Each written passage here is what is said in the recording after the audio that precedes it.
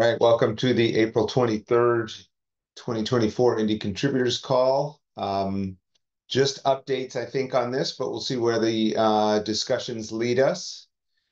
Um, we are recording. This is a Linux Foundation and Hyperledger Foundation meeting. So the uh, antitrust policy of the Linux Foundation and the code of conduct of the Hyperledger Foundation is in effect certainly know everyone here. Um, any announcements to be made? IIW? Yeah. Um, the Indicio testnet uh, will be reset on Tuesday, May 7th, 2024 at 9 a.m. Okay. Um, if you guys have questions about that, you can reach out on Discord. Um, we do recommend if you're running demos to Yeah. use the demo net for demos. Okay.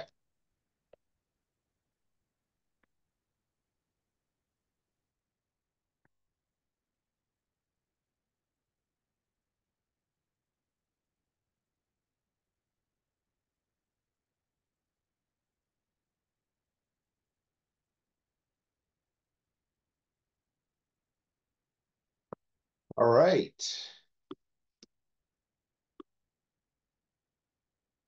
At 9 a.m. in what time zone? I would assume mountain time. All right. Uh, yep, it is mountain time. Verified. Good. Okay. Any other announcements? Suspect others have updated probably this section. Um, thoughts about uh, topics, I will be happy to uh, give a small update about Hyperledger uh, in Besu. Uh, Please. But, uh, yeah. So uh, maybe if I already started. Uh, we finalized pull requests uh, to uh, did indy method uh, repository. Alexandra uh, Sh- Sherbakov reviewed it. Yeah, Mhm. Detail with a detailed review, but also we will be happy to get uh, other review and Okay. this. So looks like Sam had a chance to start looking through this pull request, and I will be happy to get his opinion about this pull request. sounds good.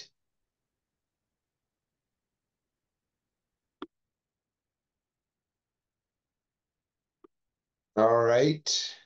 So folks, um, let's take that as an action item to review and get that finalized this week, ideally. Please get the feedback in. Um, Kim, any updates on the Ubuntu 2204? I've been seeing lots of PRs and PR updates. Progress? So uh I've made some progress on Indy Plenum. Um the build I believe is passing all the way now. Waiting for one more build to finish here. And then um currently uh uh and I have a couple questions about this. Um the uh there's a couple of dependencies that I've used I've created a temporary repo for hosting the Debian file as I did the development Okay, um, because the I, I don't have the keys to do the publishing on it. Um, but there's four Debian packages that I had to pull in manually. Um, there's a libssl that I pulled from uh, the previous version of Ubuntu. Um, there is uh, the Ursa package. Um, so I have not done anything to trigger the Ursa build, and then there's the libindy package um, that was a requirement as well for the build process. Um, and so I think if I can get some help getting uh, the repository created and then resolving those three um, uh, Debian packages, I think we're done with the Indy Plenum as far as the first pass on it. so there is a, the Ursa should be replaced by the Indy, Indy BLS signatures repository. I was about to say the same thing. Yeah, Did we do any work to remove? Uh, so so we technically don't need that for the build, is what you're saying. well, no, like you should be able to replace the reference in Ursa to Indy BLS signatures. Um, hang on one sec. Is Ursa's end of life.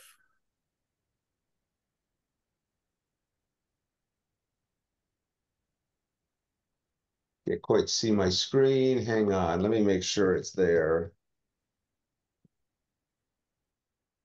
No. Um. Well, let's just go to Hyperledger.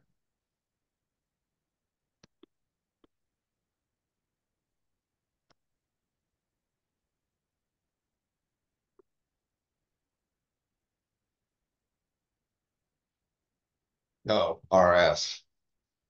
So there's no Debian package for it. So there should be a package for it, and you should be able to simply replace uh, the Ursa reference with this. Would that help?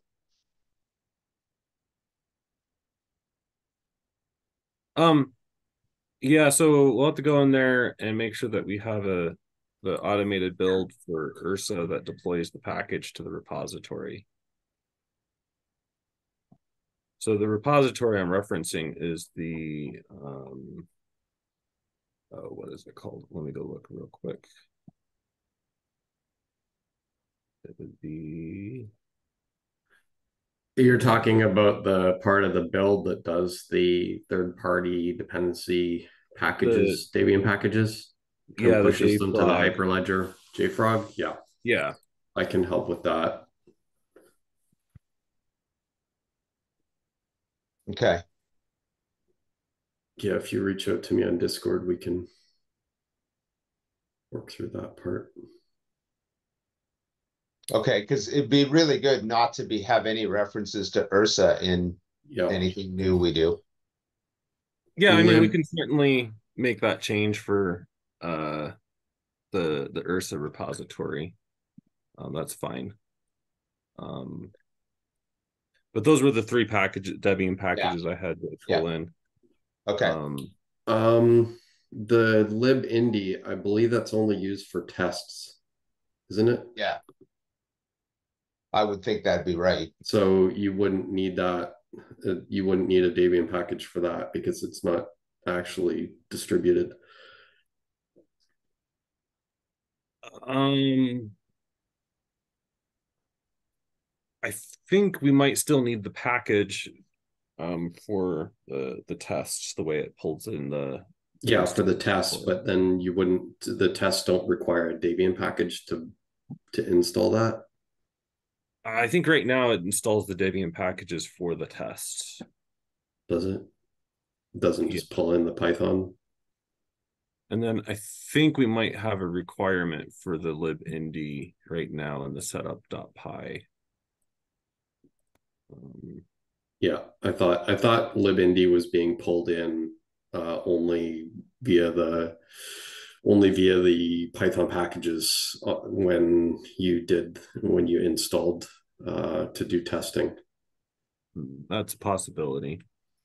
Let and then lib libssl we probably really need to update the version of libssl that's being used. I have a feeling the one that's being used is rather old.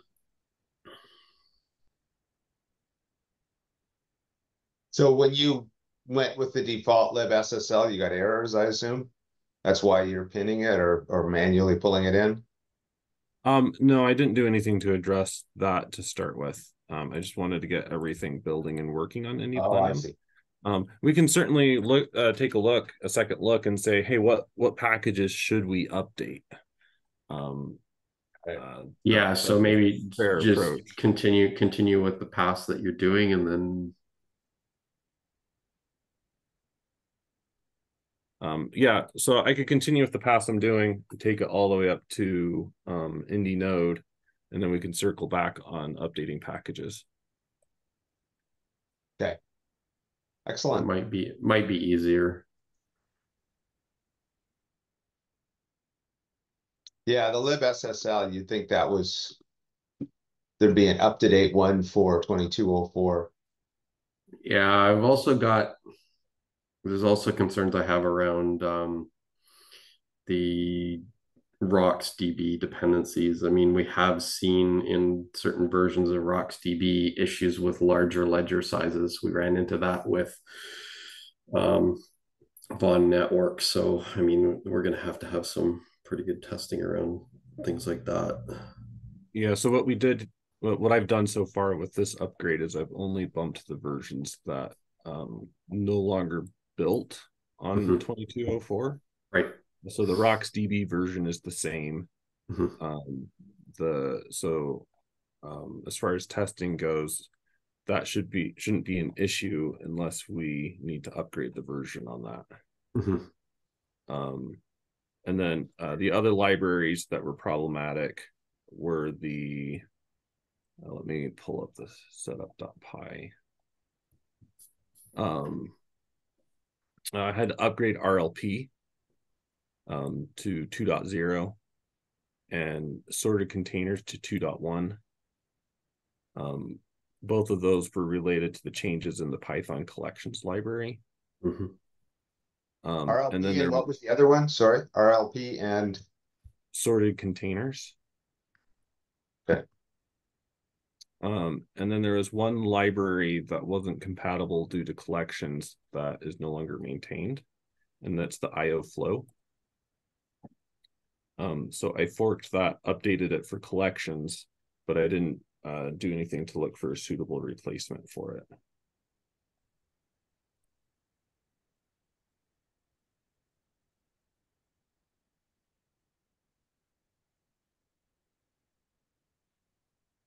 Okay. Awesome.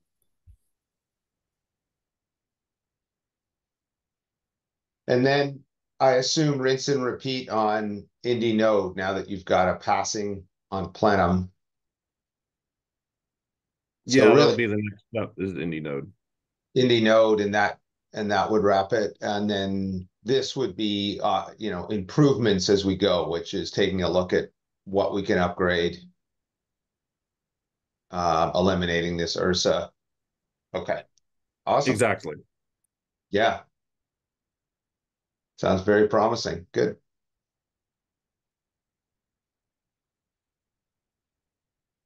Thanks for that, Kim. That's awesome work.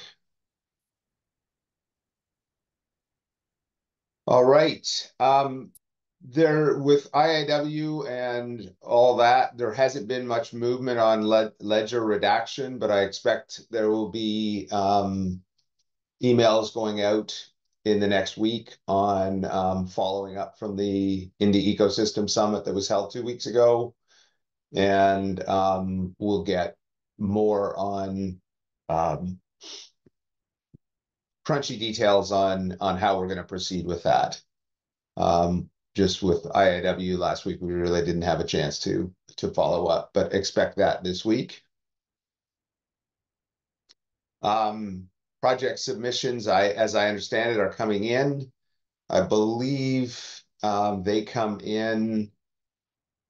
I'm not quite sure how how long it's uh coming in. I should take a look at that. The mentorship program dates. Yeah, so May tenth, so we won't hear anything until May tenth on that.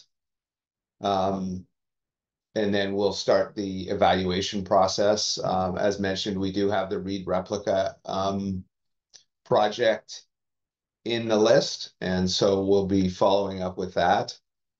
Um, we did have, um, week before last, a, uh, I attended a, um, a, a kickoff for the application period. And, um, talked a bit about the projects we have and, and various things to do with the mentorship program. And so that is, uh, underway, uh, and applications are coming in. We do have people, um, contacting us directly for, for various things. I am uh, not really following up on those because it's really not, since it is an open competition, we want to make it fair for everyone, so I'm not um, doing a lot. So if anyone is, um, please don't be offended. Um, we just uh, want to make it fair for everyone to um, apply and and um, go through a fair uh, evaluation process. Um, I, that's all I really had on the agenda for today. I didn't um, have any uh, specific topics. Are there any other topics people want to go over at this point?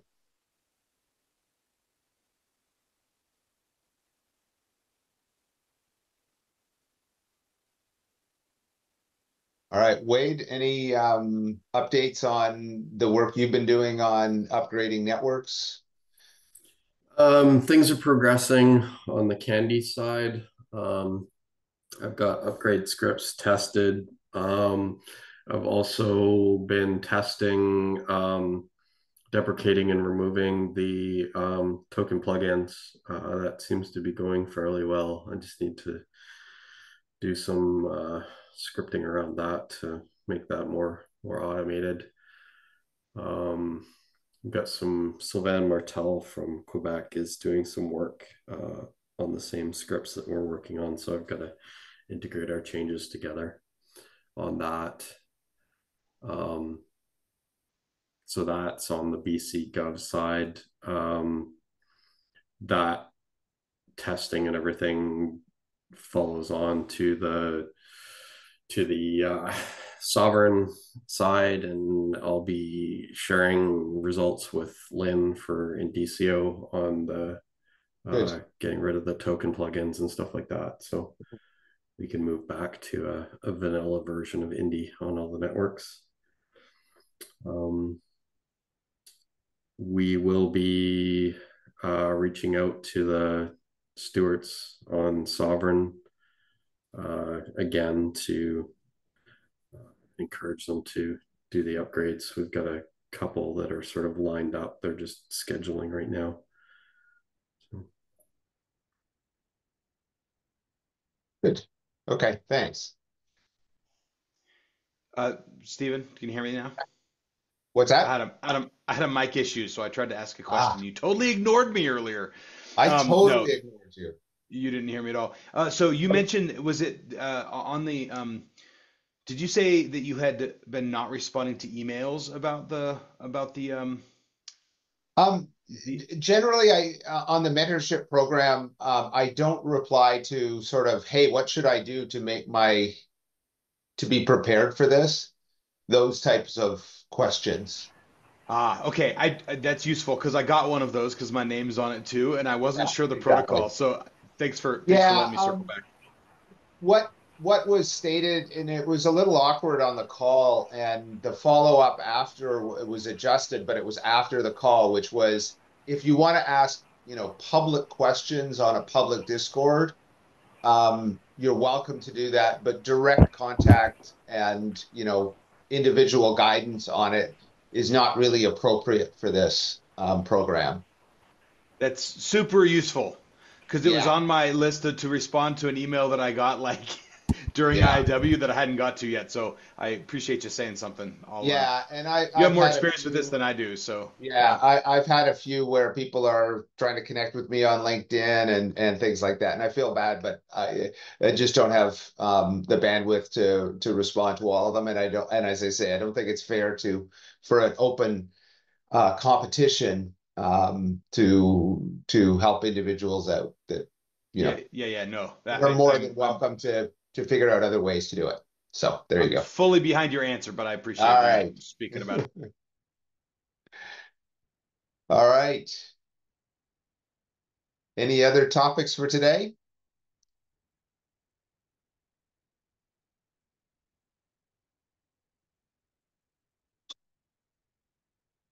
All right. Well, have a great one, everyone, and we'll see you in a couple more weeks. Um, keep an eye out for any follow-ups on the Indy um, Ecosystem Summit, and we'll move forward on that as well. Take care. See ya.